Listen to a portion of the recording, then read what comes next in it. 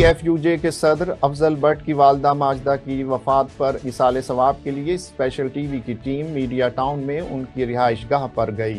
अहमद रजा की रिपोर्ट में तफसीलात देखते हैं।